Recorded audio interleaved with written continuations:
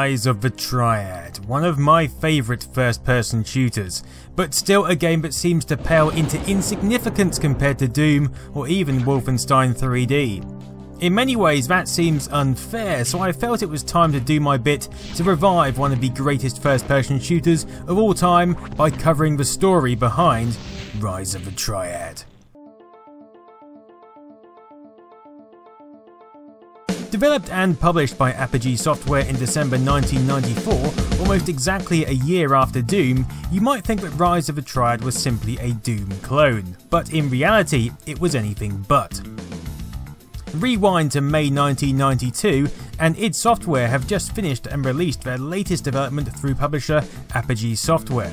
This development was the pinnacle of their then current 3D engine, which had been advancing since Hovertank 3D was released in April 1991, swiftly followed by Catacomb 3D in November of the same year. Taking these earlier releases, inspiration was sought from the 1981 stealth shooter Castle Wolfenstein to create something that would stand out, incorporating both gore and frantic action into a convincing world. The game that would emerge from this mixing pot of creativity was really a breakthrough in terms of combining engaging gameplay with a perspective we're all familiar with first person. That game was Wolfenstein 3D. It wasn't their first game to be published through Apogee's shareware model. That honour went to Commander Keen in Invasion of the Vorticons, after Apogee approached the id guys seeking an original new game. But Wolfenstein 3D would be their first hugely successful game through this route. Under this marketing method, the first episode was released for free via various bulletin board systems in an attempt to drive interest in paying for the remainder of the game. It wasn't a new strategy, but after proving to be highly successful when coupled with a compelling game, it paved the way for many a release to come, leading to a full retail box version published under FormGen and GT Interactive. Wolfenstein 3D success quickly meant add-on packs were developed for the game. This included the Nocturnal missions, and the Super Upgrades pack featuring 815 fan-made levels, with a level generator and a map editor. An extended version of the game titled Spear of Destiny was also published through FormGen in September 1992, solidifying the first-person shooter genre. Wolfenstein 3D quickly became the biggest shareware game of 92, with retail sales following at a rapid pace, whilst also causing mass controversy for its outrageous levels of violence and frighteningly realistic graphics. You got me. With all this success, it's not surprising that Apogee encouraged id to jump quickly onto the idea of a sequel, However, id weren't a company to hang about, and blessed with the evolving drive of John Carmack and Romero, they had already been working on improving their engine way past what Wolfenstein offered. At this time, Tom Hall, one of id's founders, was also heavily involved developing the engine, but was facing severe creative differences with other members of id. Tom's original design document sets the scene. Doom takes up to four players through a futuristic world to rescue your teammate, Buddy Dacote. They may cooperate or compete to push back the invading hordes, and the environment is one big world, just like real life. A vision that sounds more like Left 4 Dead than what Doom would become, and the remnants of this vision are evident in some of the Doom beaters. However, this was not to be, and so Tom departed from id and moved across to work in-house at Apogee, bringing with him the Wolfenstein 3D name as a bridge project. This seemed to work fine for id as they had bigger concerns to concentrate on, and it was perfect for Apogee who were keen to launch a follow-up for their most successful shareware release to date. Initially, this follow-on was just going to be an additional pack of levels and graphics for the Wolfenstein 3D base game, entitled Rise of the Triad Wolfenstein 3D Part 2. The demo you see on screen shows some of the actual artwork created and additional features were planned including a grenade launcher, destructible walls and even a scrolling horizon dependent on memory. But this was all quickly scrapped in favour of a full-blown sequel simply called Rise of the Triad, and it was reported by Game Developers magazine that Apogee was creating a totally new game with new actors, new everything, but bearing the Wolfenstein name. And so, work progressed. The story basis was that BJ Blazkowicz had moved on to fighting an evil organisation known as the Triad, who had actually been behind Hitler's domination plans from the start, and who now had developed nuclear weapons capability. This Nazi connection, of course, remained blatantly evident through to the finished product. One connection which didn't remain evident was the lack of Wolfenstein's name. Given that id had never officially granted Apogee to use the Wolfenstein name for future products, they quickly blocked Apogee from progressing with an official sequel. But given their good terms and Tom's connections, turned somewhat of a blind eye to the Wolfenstein engine continuing to be used. Looking at it from a detached perspective, this seems a completely fair angle to take. By now it was halfway through 1993 and id didn't want their earlier IP getting in the way of what would become their best known game of all time. For Apogee and Tom Hall, this created a crossroads situation. They weren't, of course, beginners in the game's market, and they knew that the Wolfenstein engine would quickly be outgunned in the graphical stakes. Without the Wolfenstein IP, could this project really limp through on an engine which, whilst only just over a year old, was a lifetime in terms of development progress? Plenty of Wolfenstein clones had already begun to emerge, such as Ken's Labyrinth, which added crouching, slot machines, water fountains, and various other quirks, and Terminator Rampage, which added texture mapped floors and ceilings, amongst other significant improvements. Apogee knew that restrictions of the Wolfenstein engine and the PC market it was born into were rapidly being outgrown. At its most fundamental, Wolfenstein was a real mode game which didn't require DOS memory extenders, meaning it only really needed to make use of the 640k of conventional PC memory. This allowed it to run on an unexpanded 286 machine, but also meant its engine was pretty limited, evident from the lack of texture mapping, repeated sprites, and grid constrained right angle walls. 386 and above processors allowed use of a 32 bit protected mode, this unlocked a whole swathe of extended memory, which when installed meant a game engine could be much more complicated and expansive.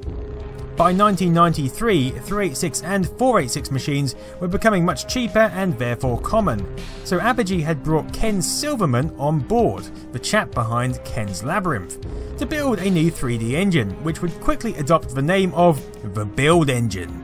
This is, of course, the engine which Duke Nukem 3D would be based on. Come get some. So now we know where Duke Nukem 3D's interactive elements came from. But it was also the point which had brought Apogee to their crossroad. In one direction, they could abandon the work they had thus far completed with the Wolfenstein engine and shift the renamed Rise of the Triad to the build engine, albeit an early and unstable build engine.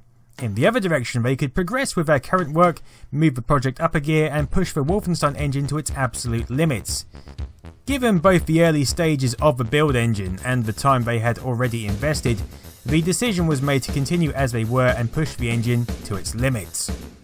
With Tom Hall leading the team, various developers were brought on board to work on the project, Joe Siegler had already been brought on board by the founders of Apogee, Scott Miller and George Broussard, as a beta tester on their projects Math Rescue and Major Striker, before moving across to fill Shawn Green's position as online support as he moved to id Software. William Scarboro was the first developer hired for the project, and the two quickly developed a close friendship.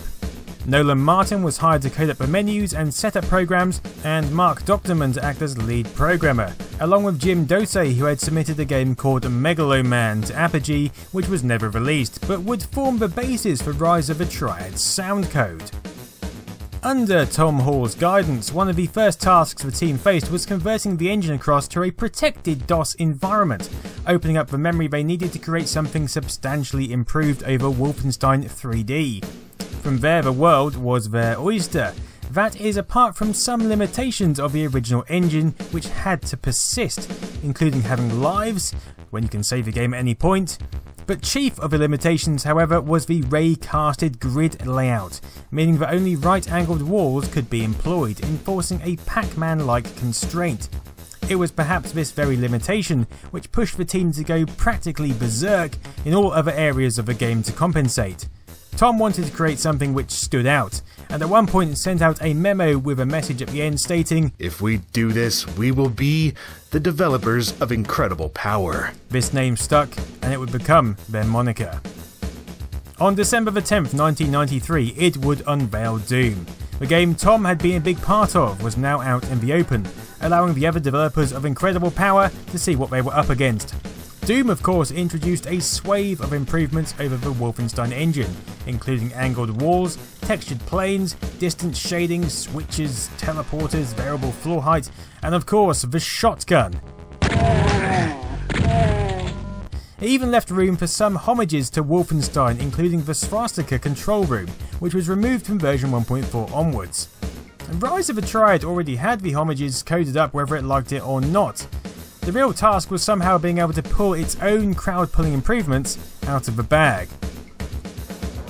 With most of the engine converted over to protected mode assembly code, Doom released, and tensions between id and Apogee smoothed out, Apogee proceeded to sign a deal with id, allowing some borrowing of Doom's texture planing code into the engine.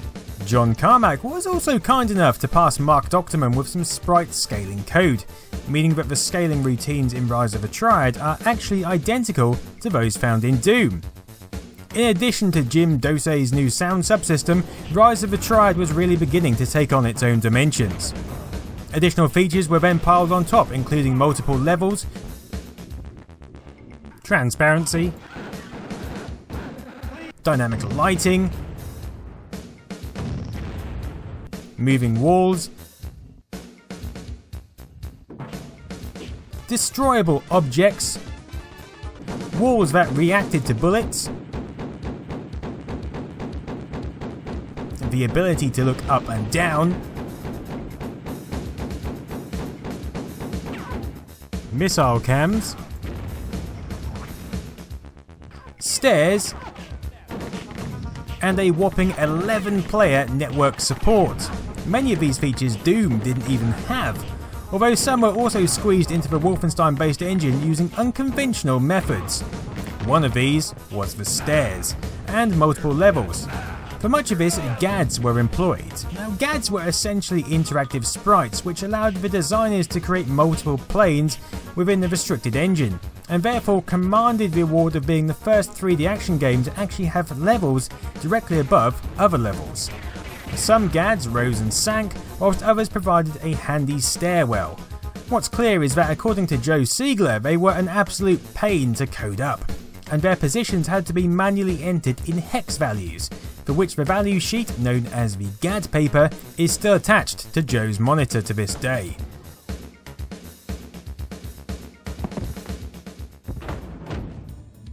One quirk of RoTT was the level design utility known as TED. Now, TED was id's in-house level editor which had been used on games like Catacomb 3D and Hover Tank, but also platformers like Keen Dreams and Shadow Knights. It essentially allowed you to edit and place tiles, and although it may seem weird that it was used on both first person and platform games, Wolfenstein 3D was at its heart just a 2D game that was projected to appear like 3D. So it worked just fine, but just wasn't custom built for the task. RoTT's somewhat Frankenstein engine even had features that their later build engine didn't have, such as parallaxing skies, fog, boulders, ricocheting bullets, touch plates, and lights that actually interacted with the environment, so if you shot them, things would get dark. On his website, Joe Siegler recounts various stories regarding testing, including the multiplayer, where they used coffee cups to act as the players for some of the machines. As if linking 11 machines in the 90s wasn't hard enough, the coffee cups acted as a trigger on each fire button so they could test whether all the screens were in sync. The multiplayer mode, known as Combat, also added the ability to send remote ridicules to other players. Waiter. These, like the in-game sound effects, were recorded through a simple computer microphone in Tom Hall's office. Some lines were ad-libbed, whilst others, like Joe's blur sound, was a reference to an Apple 2GS game called The Legend of the Star Axe. It was also decided that all characters would be digitised into the game, along with all the guards played by members of the team. This included Loki, George Broussard's dog, which allowed for the infamous dog mode, and the deadly bark blast weapon that could literally tear people apart. The levels could also be vast, 16 stories high and encompassing an area of 1 million square feet, allowing for some pretty insane level designs. And that really sums up the attitude towards Rise of a Triad. Insane. Everything was designed to defy logic, to appear surreal and to just cause the user to stand up and go, what the hell is going on here? To that end, it was of course also the first game that let you fall off ledges and die, and the first game to incorporate something usually associated with Quake. Rocket jumping. Now dotted around levels were jump pads, which other than allowing for hilarious airborne shootouts,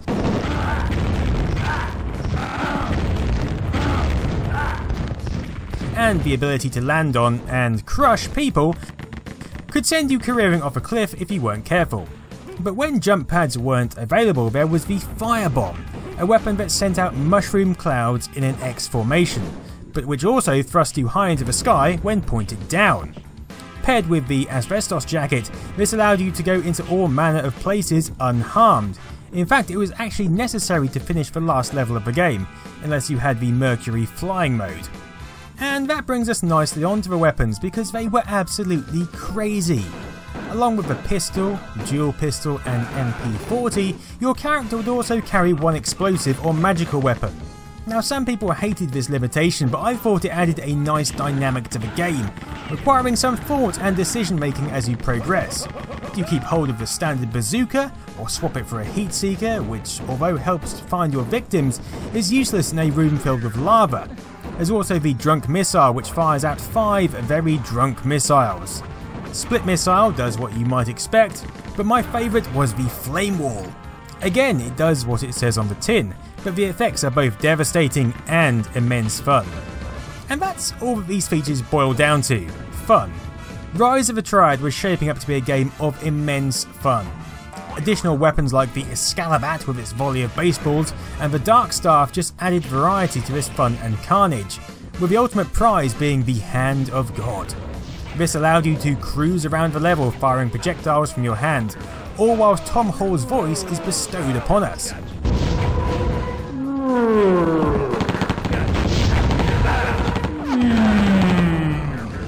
It's actually Tom doing an impression of the sounds John Romero would make whilst using the no clip cheat in Wolfenstein 3D and causing mayhem in the levels. I, guess whatever works. Another story Joe recounts is the flame war actually setting everything on fire in a level during development. Apparently the flames would climb up the gads and permanently set them alight, which made for a pretty compelling effect, but one which was sadly removed from the final game. In total, a lot of people worked on Rise of the Triad to make it a game worth buying, in a sea of first person shooters that were beginning to emerge, which was handy because RoTT's timeline was a tad unfortunate. Christmas 1994 was approaching fast and Doom had launched a year prior.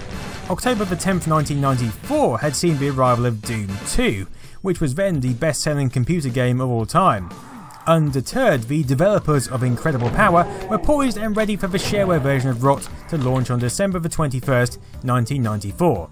The original version 1.0 actually had a warning on load up to advise that it was a beta of sorts. Included in this beta were footstep sound effects as you paced about, which were dropped from subsequent iterations. But worse than that, none of the exit messages played appropriate sound effects.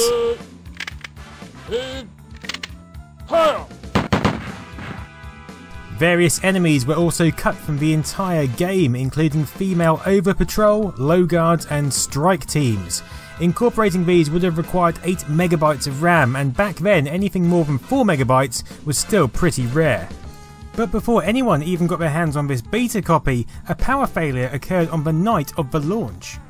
And this was apparently a fairly frequent occurrence, leading to various office antics, including water rocket competitions, a photo of which ended up on the Rise of the Triad CD in the extras directory.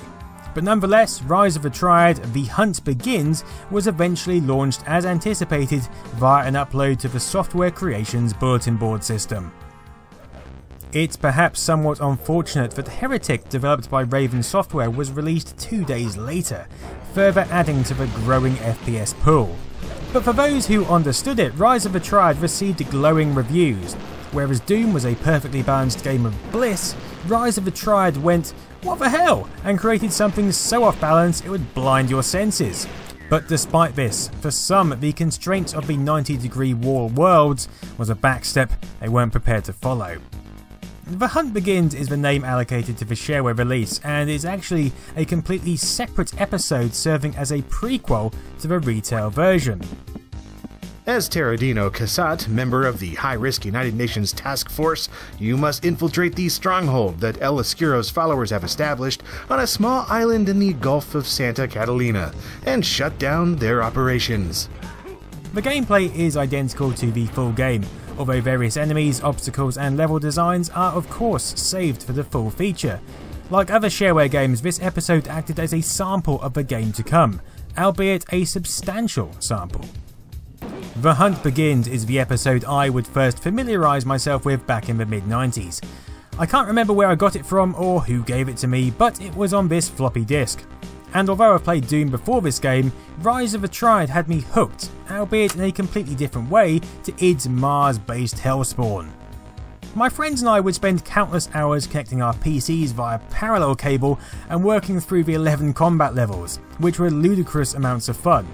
Just sending repeated remote ridicules could be entertaining for hours. Where are you? Over here. But even when that novelty wore off, the various weapons, death sequences, eye popping explosions all made for a horrifically compelling experience. It was actually the first game to obtain a RSAC rating of 4, with wanton and gratuitous violence, which further sold its appeal and if you knew the engine killing Gibs code, you could up this to unprecedented levels. As far as I'm aware, this is also the game which spawned the term Gibs, later used in Quake and incorporated into vocabularies the world over. Even outside of multiplayer, Rise of the Triad just offered me so much to do. The game progression was of course solid, but what really kept me coming back for more was the little quirks, the crazy level names, the levels themselves Shrooms mode, Elasto mode, these all felt like things the developers played around with and would be removed from any normal game, but not here, and the game was all the better for it. There was a wealth of secrets to find and even a vast array of utilities the game spawned, including an infinite level generator called Randrot. All this could have kept me entertained for months, and indeed it did, but there was also the full iteration of the game available in retail form or through Apogee's shareware program. Rise of the Triad Dark War is the full game, available in various iterations, with the boxed versions going to town promoting the features. Unmatched realism, super save games, stupendous power ups. Later editions like this Kicks release drew attention to looking up and down, and the eye popping graphics, literally. We can also find the system requirements here of a 386DX 40MHz with dual speed CD-ROM, this being the CD version, and VGA graphics. You'll also need 4MB of memory, although 8MB and a VESA local bus video card are recommended.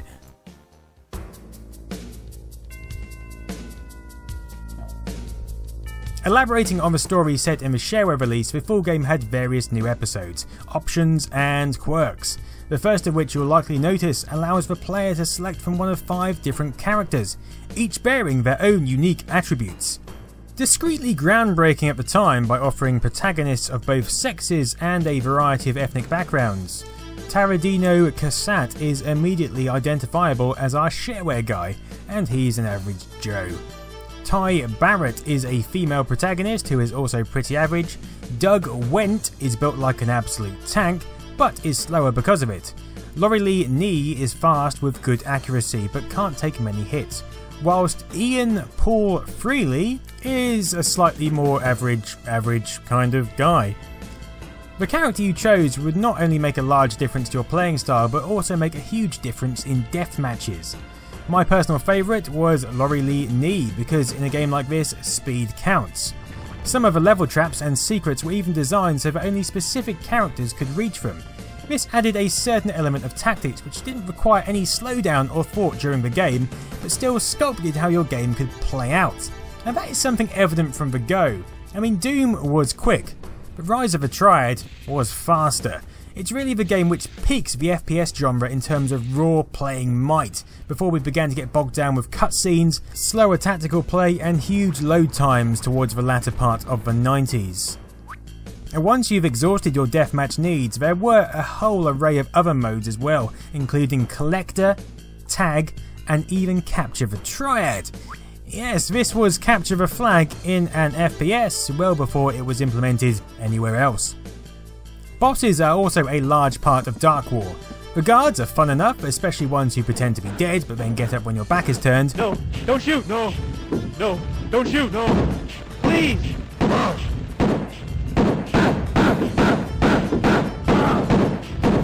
the end of level enemies such as General Darian, played by Steve Maines, said cool things like, They'll bury you in a lunchbox. Yeah, take that man.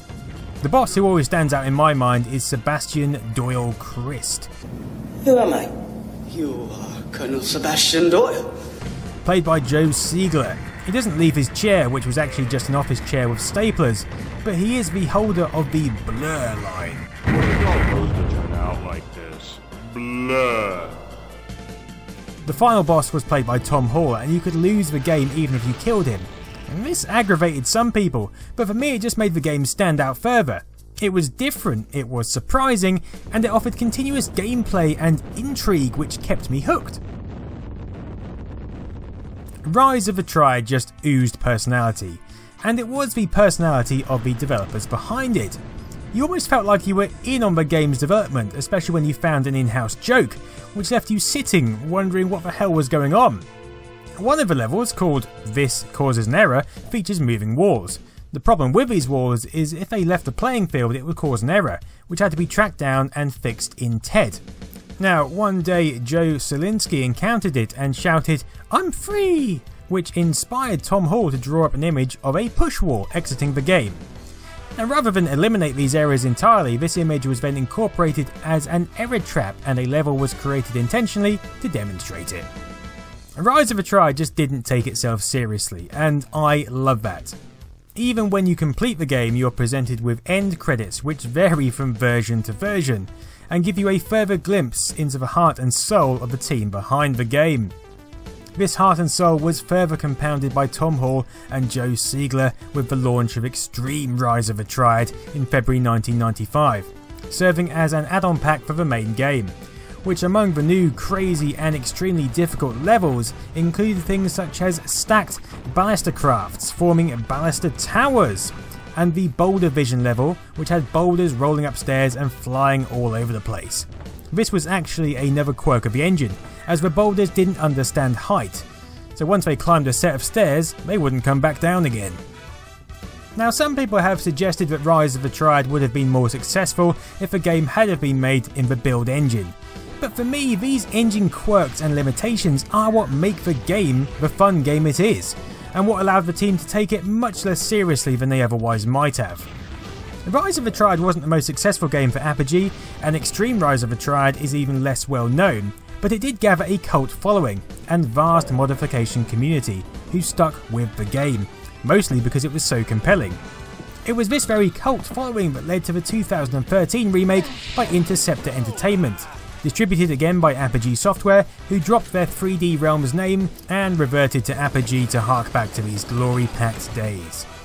This remake is actually a pretty faithful game, even retaining features designed to expand on the Wolfenstein engine limitations, such as the GADS, and it brings across many elements from the original that made it such a great game, including the speed.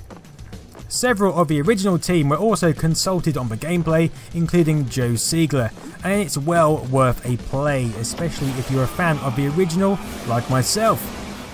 As for the original team, well, the developers of Incredible Power went on to begin production on Prey, which failed to progress in the 90s but was finally released in 2006 through 2K Games, under contract from 3D Realms, and it's scheduled for a reimagined version later this year.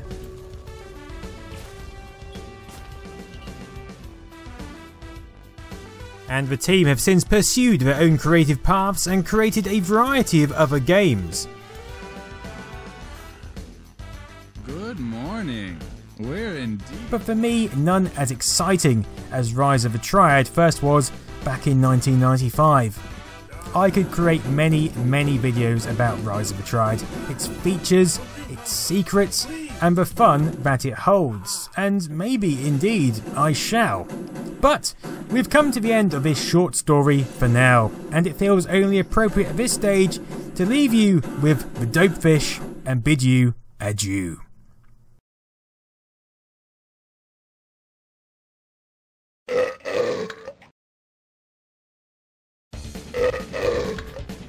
Thank you for watching the Rise of the Triad story.